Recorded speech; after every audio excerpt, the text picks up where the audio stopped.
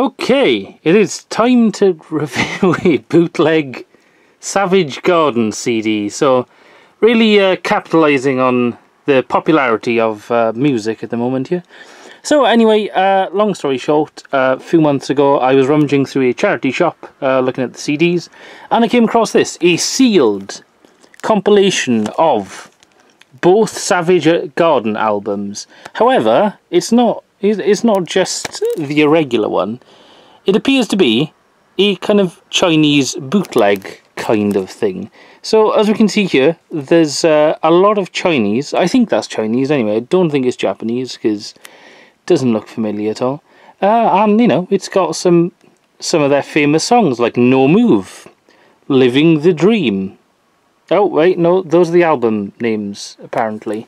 Um, so yeah, I'm quite a big Savage Garden fan. In fact, uh, I have both of their albums. And, well, actually, I say I'm a big Savage Garden fan. This album is really damn good. This is their first album, uh, self-titled.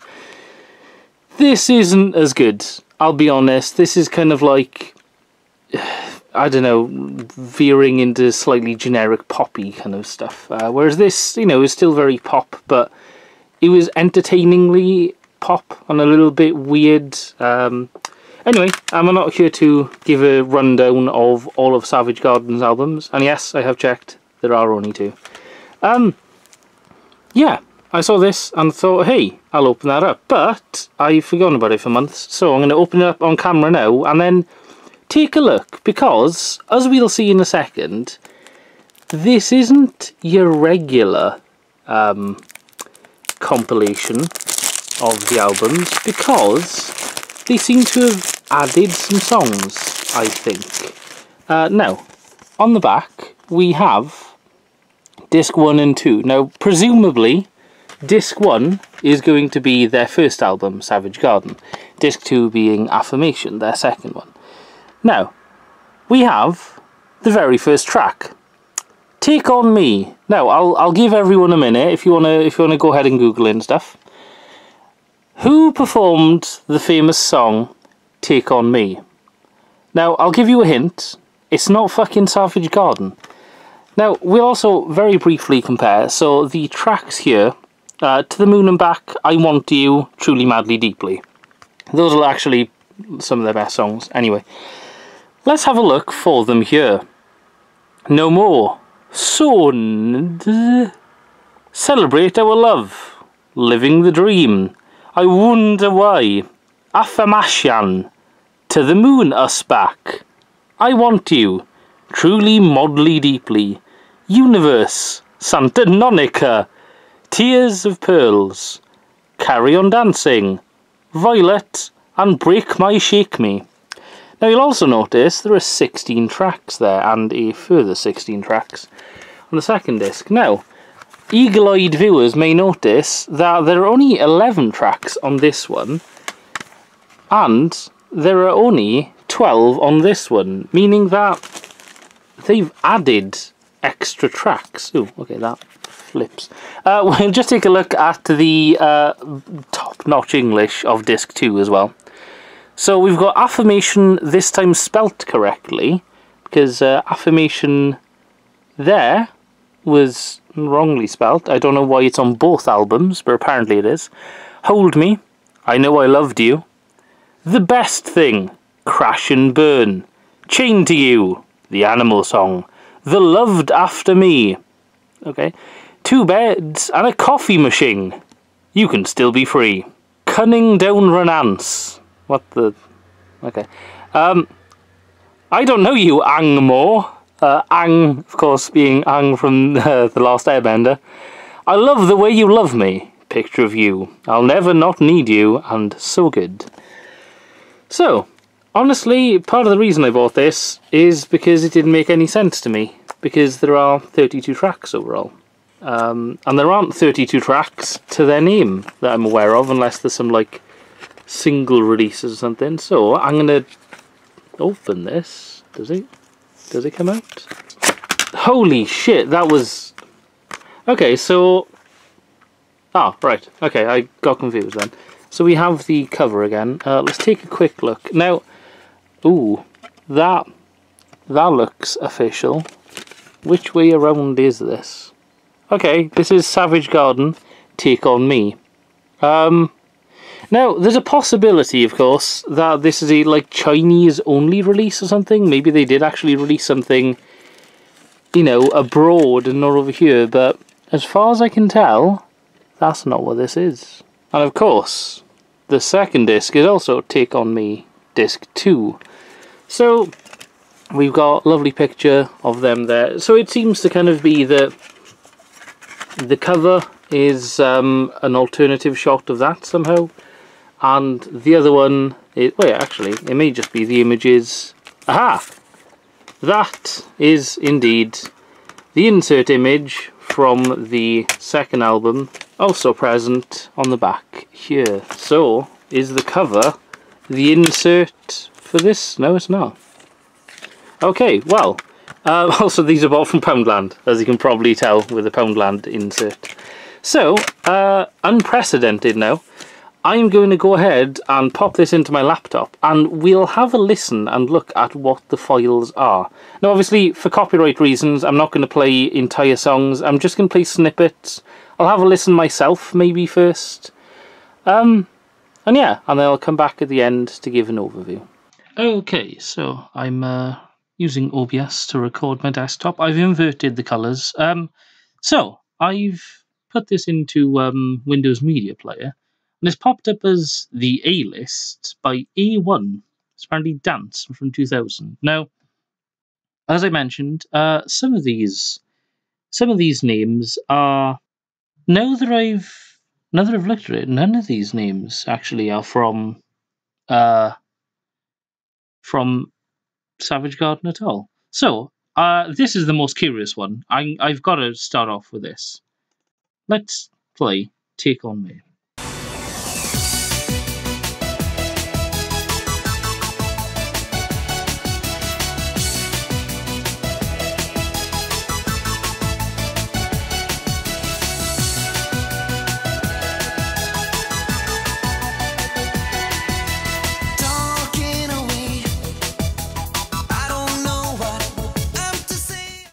Okay, I'm gonna go do something quickly.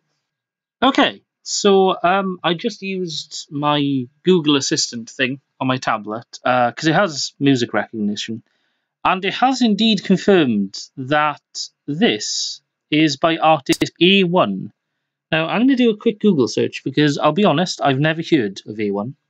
So I'm back. Uh, A1 are indeed a real band. They're a British Norwegian pop group uh, from like late 90s.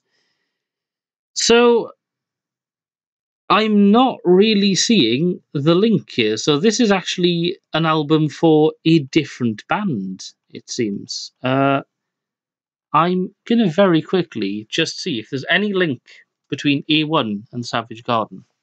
All right, I've had a check, and no, there's uh, just Google the two band names, and there's just nothing. It's uh, it seems that A1 are definitely, you know, quite a forgotten band, even compared to Savage Garden, who weren't exactly huge, but I feel like they had a bit of a legacy. So I'm to have a check back on this CD.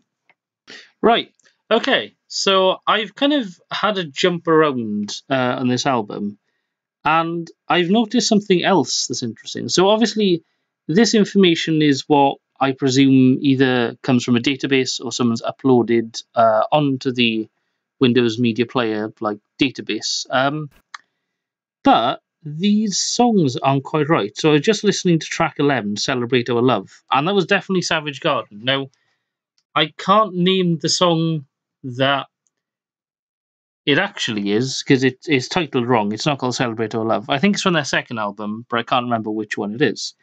However, I just clicked on track 9, She Doesn't See Me, assuming, of course, it was by A1. However, but if I jump back to the start,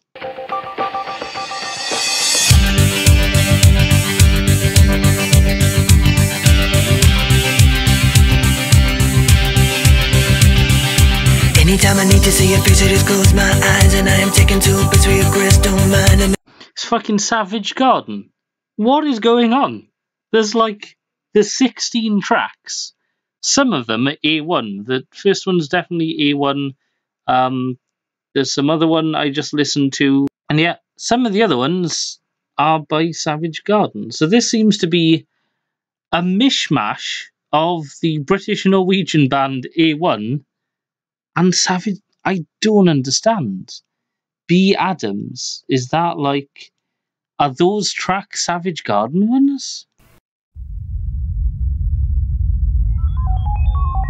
Holy shit, this is the Moonin back. So, okay, so the composer then, anything with B. Adams seems to be Savage Garden, and A. Carlson and C. Ingebrigtsen seems to be A1. I'll stop this because uh, I don't want too many community strikes on my channel. It's not like I'm making money, but well, this is very interesting. So I'm going to pop in disc 2, I think. Okay, so I'm back with disc 2.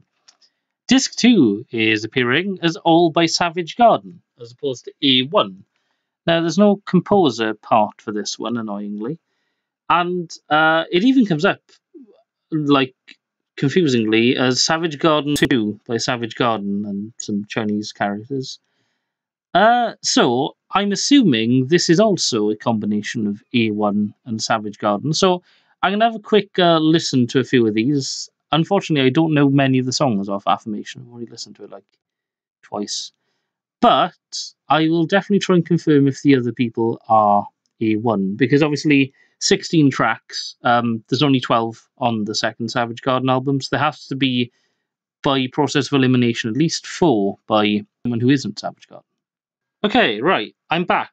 The fuckery continues. So, track 13, Tears of Pearls, which is. So, I will give them credit. The first 12 tracks are actually the second Savage Garden album in order. The Animal Song and uh, The Lover After Me, uh, wrongly titled here, are actually in the right order, as is everything else. So, tracks 1 to 12 are actually Affirmation, uh, their second album. So, this one heart and soul so completely. So I kind of recognized the voice a little, like I'd heard it on the radio before. So I checked with Google Assistant, and that's fucking Boyzone. What is going on here? Why is like I I understand the you know they tried to like boost it out by adding some A1, but just stay consistent. Why is Boyzone on here now? So I'm going to check the last three tracks.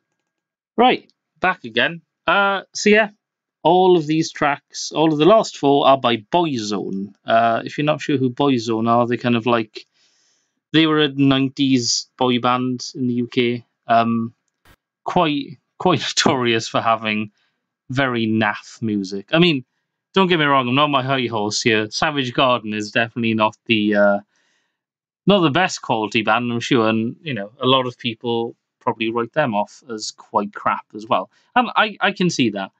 But this is bewildering to me. So we got 32 tracks. We've got basically, I think, all of Savage Garden's albums, which is fine, because that would be 23 tracks. And the rest is a weird mixture of A1 and Boyzone. Alright, back to the physical video. So, we're back. What the fuck was that? So, I mean, technically, technically they're not wrong. This was indeed both Savage Albert, Savage Garden albums. However, um, there was an extra bit on it, and I don't know. See, unfortunately, I don't know enough about A1 or Boyzone to really tell you what they were going for here. Now, presumably, oh, actually, the paper sticker's off, but presumably this is known as Take On Me, which I'd bet is maybe an A1 album, because they covered the song Take On Me, which was the first track of the first disc here. So I presume they kind of threw that in because that was maybe either really big in China or the biggest name of a song or album to kind of try and push their product. because I guess Savage Garden's big, but you know, Take on Me by a-ha is an even bigger song, and probably something I imagine that was quite popular around the world, not just in uh, the UK. So, yeah, that was an interesting trip down music memory lane. Gotta admit, I'm not sure what to do with this now because, uh, well, I've got both albums. And whilst I love curiosities and weird bootlegs, the bonuses of this one is some tracks by A1 and fucking Boyzone. Like, I don't know. The the cover of A1 had like a pretty interesting instrumental, but the the singing was really standard and just kind of detracted from it. So, yeah, um, you know that that was a that was a fun thing. I don't know if I'll do many more bootleg CD videos in the future. If I come across them, though, I will buy them and I will make videos. But unfortunately and annoyingly, there aren't any like of those weird markets near me where you get lots of questionable imports, sort of like fake Yu-Gi-Oh decks and knockoff CDs. Unfortunately, there's nowhere near me that does that. But if anyone does know of a good source of getting some uh, getting some bootleg music, obviously for you know a cheap price, I'm not going to import from China or something. Let me know in the comments, uh, and let me know what you thought. Is this is this the ideal Savage Garden compilation? Is that what you guys were missing? Do you just wish that, you know, for a long car journey, you could pop on some Savage Garden, but interspersed with it is a Norwegian British band and a UK Irish band, I think Boyzone were, or am I thinking of Westlife? I don't fucking know. Um, okay, you sat through this long enough. I'll let you go now. Thanks.